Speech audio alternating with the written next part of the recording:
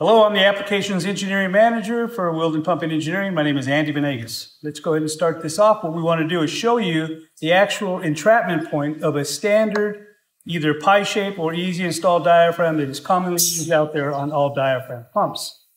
You notice the area here where the outer piston edge is at, this is where product is going to get back in there and get entrapped as the diaphragm rolls. It's going to quickly wear out and be one of your main failure points on a diaphragm. So you can see as product gets trapped there and it shifts, product can actually stay there and get stuck. Now, if you can imagine handfuls of sand or anything that you have solids that are there are going to get pinched and it's going to wear out that, that diaphragm. So one way we've combated this, you'll see, is going to be our ChemFuse diaphragm. So now, with our ChemFuse diaphragm, you'll notice we took out the outer piston. It's now embedded, and integrated into the diaphragm. So as that moves, there's no longer any entrapment points.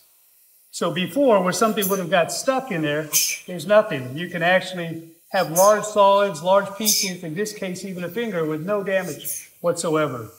So if you eliminate the impingement points, you eliminate the abrasion, there your diaphragm is going to last much longer.